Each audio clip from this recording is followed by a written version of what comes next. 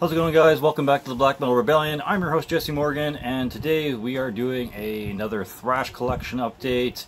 Uh, to start it off I have Hazzerd, Misleading Evil. This is their debut album. Excellent, excellent stuff. Excellent vocals. Love the guitar work. Uh, the drumming is fantastic and the drumming and vocals are done by the same dude so that's kind of neat. Uh, really, really enjoyed this the last few weeks and really, really appreciate them. Like once again, upgrading my shirt from the logo to a full print and throwing in that extra patch. It's gonna go great on the Thrash Fest that I, you know, have coming from Shanghai.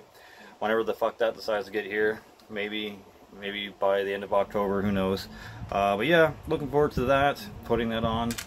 Uh, the Misleading Evil album right now is getting a pre-order for a vinyl treatment and it comes in like three different colors.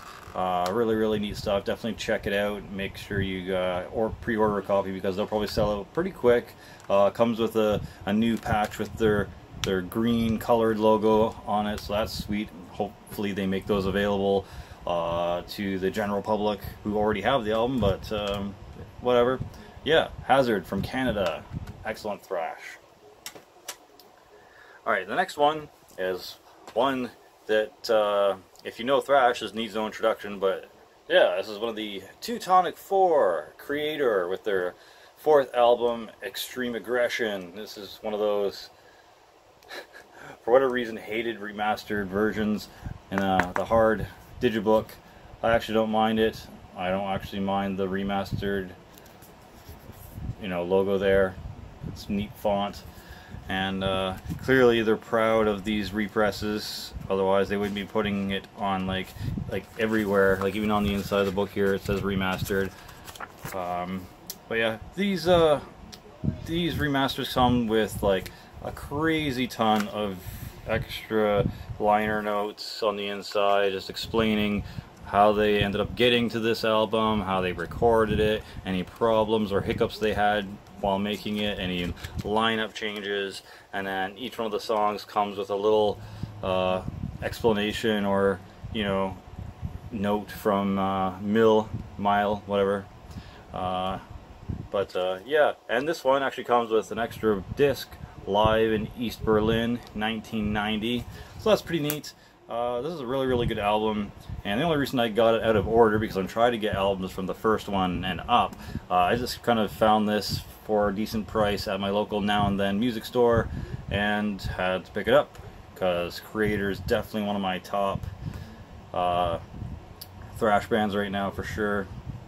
Really, really enjoy this album, and can't wait to get the in-between ones, that being Terrible Certainty, and Pleasure to Kill. There we go. Thank God for shit like this. But uh, yeah, definitely check out uh, Extreme Aggression by Germany's Kreator. Excellent thrash band. You should know them.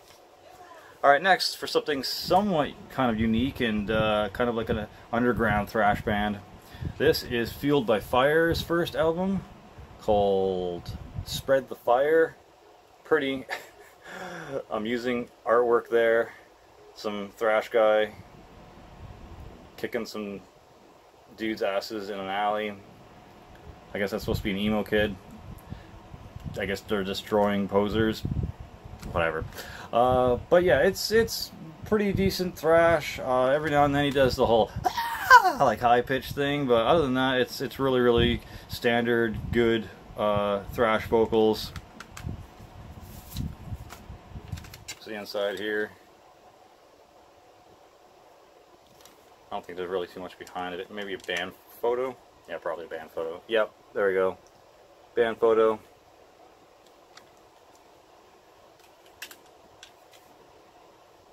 Uh, I don't know how I feel about the logo of the band, but it's it's all right. I'll probably eventually get a patch of that somewhere.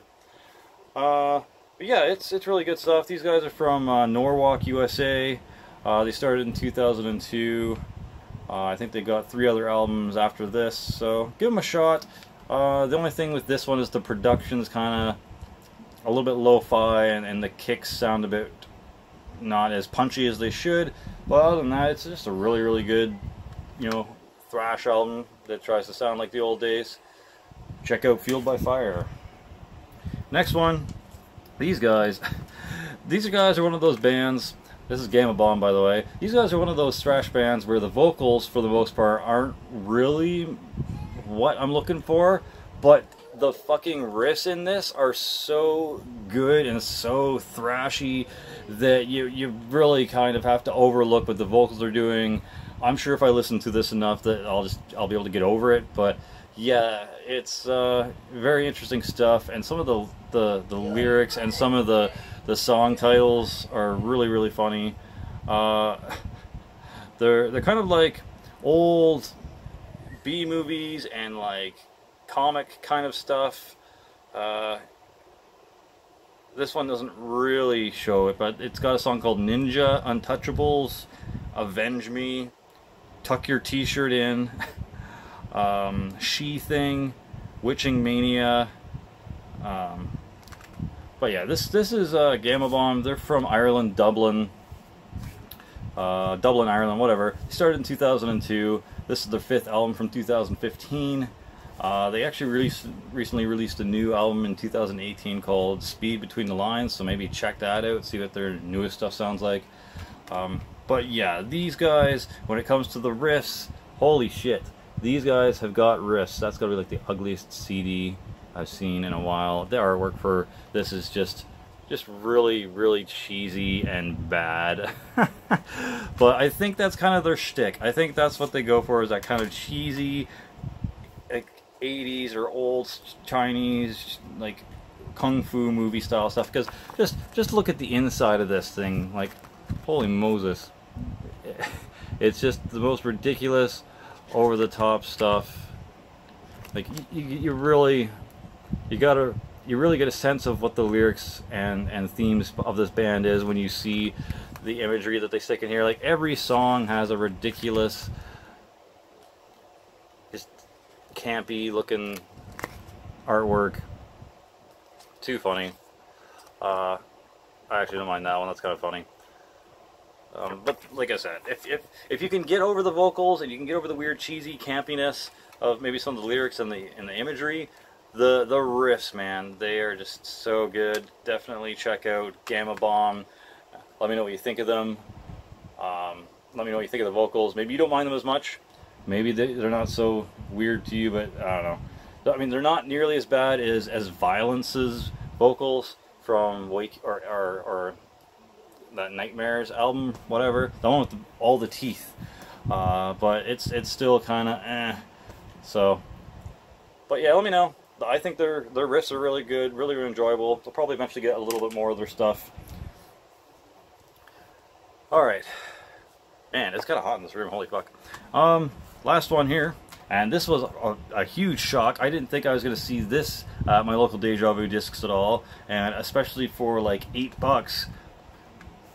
Yeah, some thrash from Canada. This is Untimely Demise's first album, which I'm shocked to see there.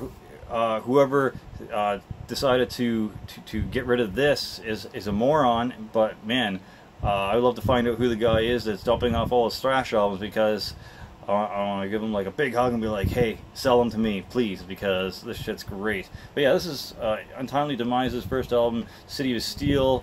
That artwork is pretty fucking neat, but then it's Ed Repka or Repke art, so the guy that did Megadeth stuff and Hazzerd stuff and Evil Dead stuff of the band. Um, but yeah, it's really, really good thrash metal. I don't know, when I first heard this, I thought it was kind of plain, but I don't know what I was thinking because this is more than plain. This is amazing thrash, and the vocals are pretty good. Uh, it's nothing, nothing to complain about, that's for sure. Uh, expect to see more of this band on my channel, that's for sure. Um, but yeah, Untimely Demise, once again, Canadian, started in 2007, uh, and this is their first album from 2010 called City of Steel. Go check this the fuck out. Probably the second best thing in this entire stack after the Hazzerd album, but yeah, amazing stuff. Untimely Demise with City of Steel. So that's it. That's my kind of five CD stack for this collection update. Hope you enjoyed it. Hope I turned you on to something new. Uh, let me know if you have any of these albums. Let me know which one of these albums is your favorite. Uh, let me know what you think of Gama Bomb's vocals. And that's it. For Glory for the Rebellion, Slammerella out. I got some fucking poutine to eat. Get her done, mate.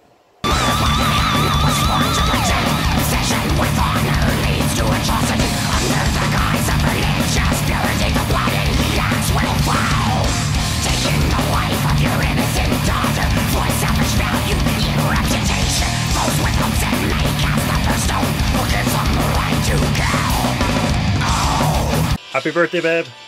No.